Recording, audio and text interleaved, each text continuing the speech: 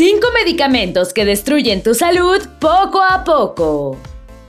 En muchas ocasiones es tanta la fe que depositamos en el uso de medicamentos, que a menudo solemos olvidar que muchos son productos químicos, elaborados en grandes laboratorios farmacéuticos, que son el resultado de años de investigación, pero contienen diversos compuestos químicos que se han ido mezclando a fin de encontrar un tratamiento para un síntoma específico y que no todas las personas pueden tolerar por igual. A pesar de estar diseñados para curar afecciones específicas, también pueden tener efectos secundarios y graves consecuencias posteriores para la salud, sobre todo por su uso continuo. Recuerda siempre hacerle caso a tu médico. Él es el que evalúa el riesgo y beneficio y toma la mejor decisión. El problema es cuando tú te autorrecetas medicamentos por tiempo indefinido, sin conocer sus consecuencias. Por esto hoy te mostramos las consecuencias de 5 medicamentos que podrían destruir tu salud poco a poco, para que aprendas a identificarlos, conozcas las consecuencias de su uso y puedas tomar con seriedad su uso y acudir a tu médico. Antes de meternos a fondo, no te olvides de suscribirte a nuestro canal y activar las notificaciones para mantenerte al día con nuestras actualizaciones.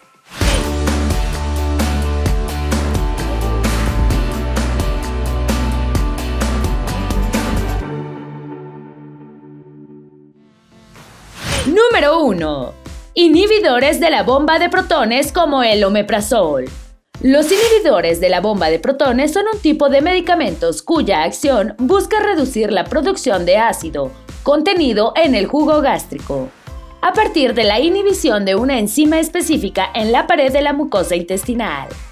Ejemplos de medicamentos inhibidores de la bomba de protones son el omeprazol, pantoprazol y lansoprazol. En otras palabras, son medicamentos usados para reducir la acidez estomacal, y el reflujo gastroesofágico, y se usan para cicatrizar lesiones como úlceras gástricas, duodenales, algunos tipos de gastritis, y además en conjunto con antibióticos para eliminar el Helicobacter pylori. También ofrecen la acción de funcionar como un protector gástrico ante el consumo de otras sustancias más fuertes y que pueden irritar la mucosa estomacal. El consumo moderado de estos medicamentos no debería ofrecer mayores molestias que algunos efectos secundarios como dolor de cabeza, náuseas, dolor abdominal o diarrea. Sin embargo, el mayor problema para la salud se presenta cuando las personas son recetadas para consumir estos medicamentos por tiempo prolongado.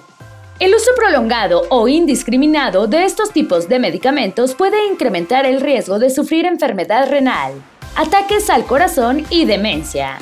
Igualmente se ha evidenciado que reduce la absorción de la vitamina B12 y el magnesio, por lo que pueden presentar casos de anemia y alteraciones neurológicas.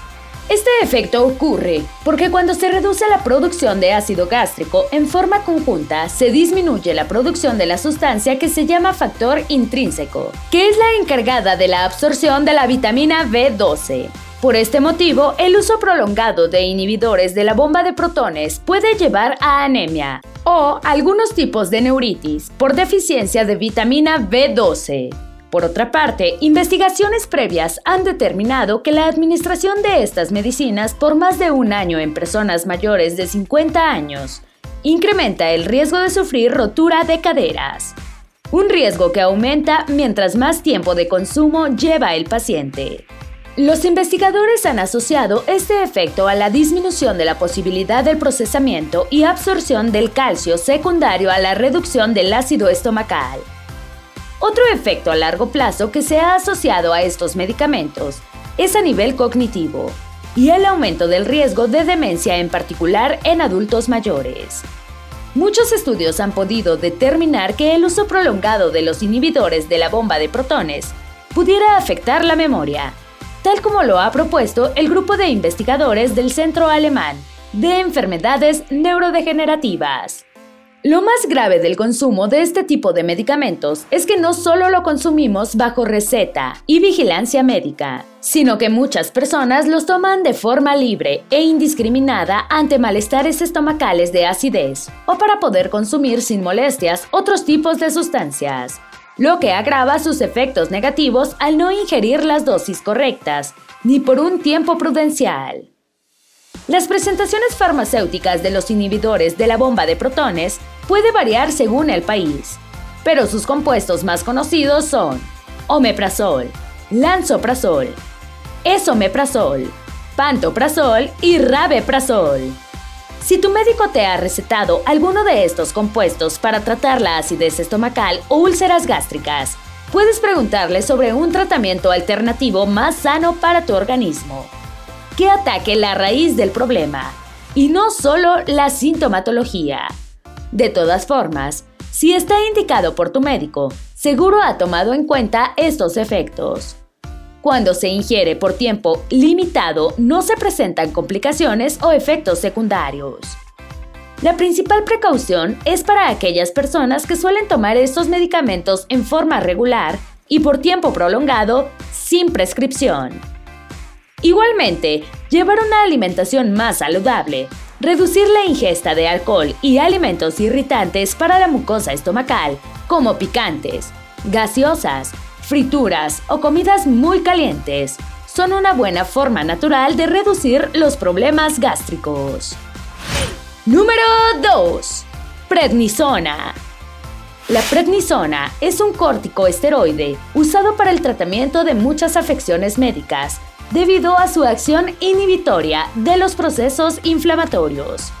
Se receta en procesos bronquiales como el asma, pero también en casos de artritis, lupus, erupciones, enfermedad de Crohn, hepatitis autoinmune, problemas de oído y de riñones, e incluso para evitar el rechazo de órganos trasplantados. Su uso es diverso porque su acción principal se centra en la suspensión del sistema inmunitario, lo que permite detener las enfermedades en las que el organismo se ataca a sí mismo por error, así como facilita la acción de otras medicinas sobre el organismo y disminuye la inflamación. Sin embargo, debido a que suprime el sistema inmunológico, sus efectos secundarios pueden ser aún peores que los síntomas iniciales, puesto que el sistema orgánico quede totalmente libre y expuesto a la acción de otros agentes patógenos, como virus, hongos y bacterias. Entre los efectos secundarios más resaltantes del uso de prednisona a largo plazo se encuentran glaucoma, cataratas, presión arterial alta, retención de líquidos, cambios de humor, aumento de peso, dificultades de memoria, Osteoporosis. Supresión de la producción de hormonas suprarrenales, lo que puede causar otra variedad de daños como debilidad muscular y fatiga. La hiperglucemia también se puede presentar con el uso de los corticoesteroides, agravando la diabetes o conduciendo a ella. La prednisona genera dependencia si es tomada por más de 7 días, debido a que causa la supresión adrenal, por lo que el organismo se vuelve incapaz de procesar los corticoesteroides de forma natural y se hace dependiente del medicamento. Por ello, suspender el tratamiento de forma abrupta puede causar debilidad e incluso poner en riesgo la vida de la persona, por lo que la suspensión debe hacerse reduciendo la dosis de forma paulatina. Si estás siendo tratado por alguna enfermedad que cause inflamación, o que requiera de prednisona, conversa con tu médico sobre la posibilidad de disminuir o modificar la dosis, así como de optar por un tratamiento menos riesgoso para tu salud. Número 3. Estatinas. Las estatinas son un conjunto de fármacos que se utilizan en el tratamiento del colesterol alto y los triglicéridos.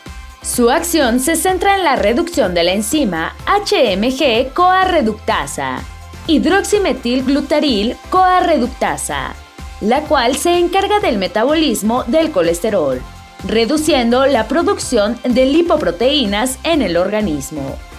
Su efecto principal es que al reducir la acción de la enzima que procesa el colesterol, se disminuyen los niveles de colesterol LDL o colesterol malo en sangre, así como el colesterol total, por lo que se reduce el riesgo de sufrir afecciones cardíacas como la presión arterial alta o los accidentes cerebrovasculares.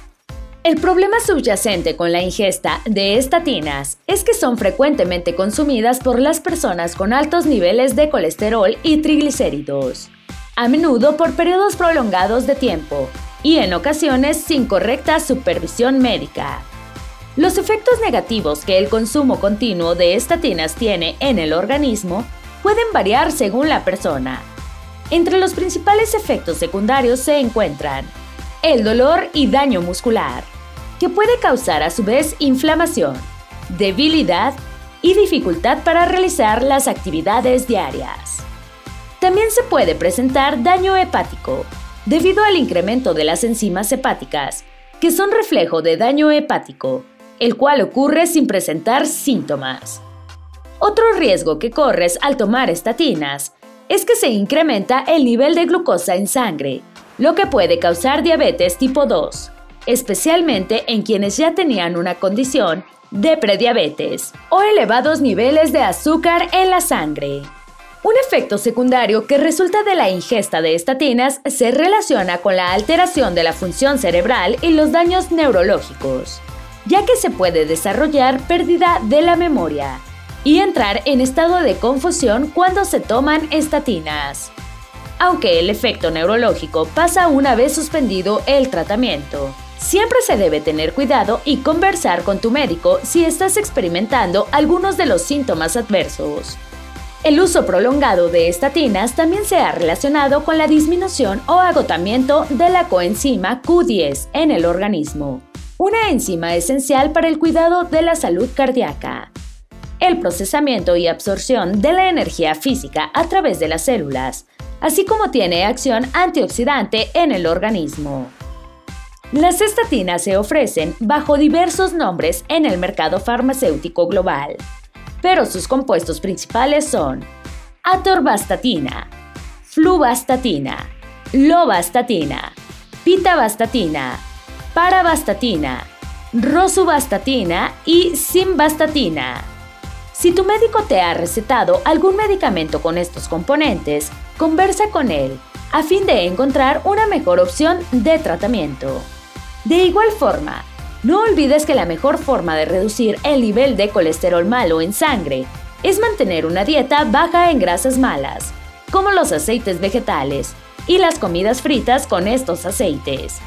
Las grasas trans también deben salir de tu dieta. Prueba a seguir una alimentación más alta en vegetales o la dieta cetogénica, la cual tiene efectos significativos en la reducción del colesterol malo. Número 4. Antidepresivos y psicotrópicos. Los medicamentos antidepresivos son uno de los más usados a nivel mundial y con una prolongación de tratamiento que suele ser no menor a los dos años. La acción de los antidepresivos tiene lugar en el cerebro, afectando la acción de los neurotransmisores como la dopamina, la serotonina y la norepinefrina lo cual conduce a una disminución de la presión. Aunque debido a su acción sobre la serotonina, no solamente son usados para el tratamiento de la depresión. Hoy en día tienen un uso más extendido, incluso en el tratamiento del síndrome de intestino irritable. El problema es que estos medicamentos suelen actuar de forma diferente en cada persona, por lo que algunos pueden responder bien al tratamiento y otros no. De igual modo, el cerebro puede volverse dependiente de ellos, por lo que una vez culminado el tratamiento, la persona puede volver a presentar los síntomas de la depresión, manteniendo así una relación de dependencia con el medicamento. Investigaciones médicas han demostrado que el uso prolongado de antidepresivos tiene consecuencias dañinas en la salud mental a futuro, causando demencia, Alzheimer, movimientos involuntarios como los generados por la enfermedad de Parkinson y muerte neuronal. Esta última una de las principales razones por las que se produce deterioro cognitivo y demencia. Pero eso no es todo, porque los antidepresivos también extienden su efecto a otras áreas del funcionamiento orgánico, afectando la función sexual, la fertilidad, el funcionamiento gastrointestinal, accidentes cerebrovasculares, hemorragias y riesgos que aumentan en las personas mayores, creando cuadros que pueden conducir a la muerte. El uso de antidepresivos, en especial los que afectan el funcionamiento de la serotonina, terminan por alterar todo el sistema orgánico, porque la serotonina actúa y regula diferentes procesos del organismo. Los antidepresivos son medicamentos que las personas suelen tomar durante años y cuya ingesta se inicia en la juventud, lo que suma un tiempo bastante prolongado de consumo y por lo tanto incrementa el riesgo de daño cerebral y de la salud en general. Pero no solo los antidepresivos tienen estas consecuencias, pues otro tipo de medicamentos conocidos como benzodiazepinas también tienen efectos nocivos en la salud. Son medicamentos psicotrópicos que actúan sobre el sistema nervioso central. Estos medicamentos se recetan a personas con ansiedad e insomnio, pues ofrecen un efecto tranquilizante, también se perciben como relajantes musculares, anticonvulsivos y sedantes. Son medicamentos que bajo receta pueden ayudar a personas a sentirse mejor, disminuir la ansiedad, dormir, pero cuya ingesta a largo plazo también puede tener efectos negativos peores a los que se busca tratar. Son medicamentos que pueden causar dependencia en un corto periodo de tiempo, también afectan la función cognitiva y predisponen al desarrollo del Alzheimer, ya que ralentizan la función cerebral y causan confusión en las personas. De hecho, las personas que consumen benzodiazepinas pueden sufrir de accidentes como caídas o automovilísticos, ya que sus reflejos y capacidad de reacción se ve alterada. Consumir benzodiazepinas por tiempo prolongado incrementa el riesgo de padecer sus efectos negativos. De hecho, investigaciones demuestran que a mayor tiempo de consumo, más propenso se es a padecer Alzheimer. Las formas como se presentan las benzodiazepinas son alprazolam, clordiazepóxido, clonazepam, clorazepato, diazepam, estazolam, flurazepam, lorazepam, midazolam, oxazepam, temazepam, triazolam, cuazepam. Si te encuentras bajo tratamiento con antidepresivos o benzodiazepinas, conversa con tu médico las posibilidades de un tratamiento alternativo.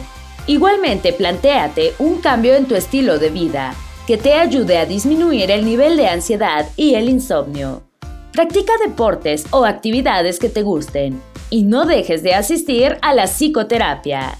Nunca suspendas un tratamiento con antidepresivos o benzodiazepinas, sin primero tener la autorización de tu médico, ya que la suspensión abrupta de estos medicamentos puede causar un cuadro de abstinencia severo que podría poner en riesgo tu vida. Número 5. Analgésicos opioides. La mayoría de las personas que experimenta dolor crónico o agudo suelen consumir analgésicos opioides. En su mayoría, son recetados por un médico y se deben consumir bajo seguimiento del especialista. El problema principal de recetar este tipo de medicamentos es que pueden causar adicción en las personas, generando en ellos la dependencia de no poder estar sin la medicina, porque sienten que el dolor regresa con mayor intensidad, aunque no sea así. Cuando la persona se vuelve adicta a los opioides, puede incrementar las dosis de la medicina, lo que puede generar sobredosis y muerte, debido a que se incrementa la función cardíaca. Entre los efectos dañinos del consumo de opioides resaltan el daño hepático, la pérdida de funciones cognitivas propias del efecto de la medicina sobre el cerebro, la adicción, cambios en el comportamiento y la muerte en caso de sobredosis. Los opioides más recetados son la axicodona, la hidrocodona, la codeína y la morfina.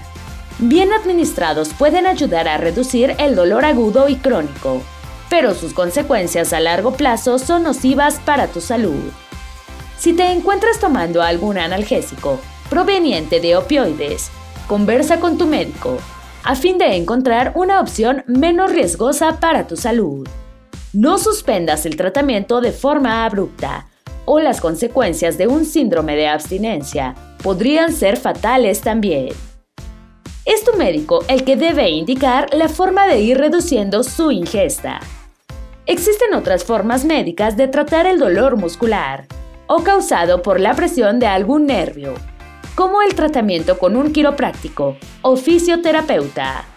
Otros métodos naturales de tratar el dolor crónico son la acupuntura y el yoga. El consumo prolongado de los medicamentos que hemos señalado tiene consecuencias severas en tu salud. Los efectos negativos se incrementan si los consumes de forma indiscriminada, es decir, a discreción propia, y sin la supervisión de un médico. Si llevas mucho tiempo consumiendo alguno de estos medicamentos, conversa con tu médico la posibilidad de reducirlos y de tomar un tratamiento alternativo. Por otra parte, si sospechas que un familiar puede estar consumiendo alguno de estos medicamentos de forma irresponsable o sin supervisión, busca la forma de que hablen ambos con su médico, a fin de que pueda detener una posible situación de abuso de estas sustancias. Recuerda que todo medicamento, sin importar su tipo, puede causar efectos secundarios en cualquier persona, por lo que siempre se debe ingerir bajo receta y supervisión médica. No te alarmes tras conocer que estos medicamentos pueden tener severas consecuencias en tu salud. Recuerda que es el resultado de los diversos compuestos químicos que se utilizan para tratar alguna afección, por lo que en la búsqueda de mejorar la salud puede correr el riesgo de afectarla.